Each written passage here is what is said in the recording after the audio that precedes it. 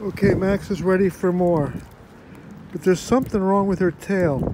It just flops. It just flops. It doesn't have the support that most squirrel tails have. It just kind of like lays loose in the breeze. So it's, I think, really suffered some challenge thanks to the wound on its back.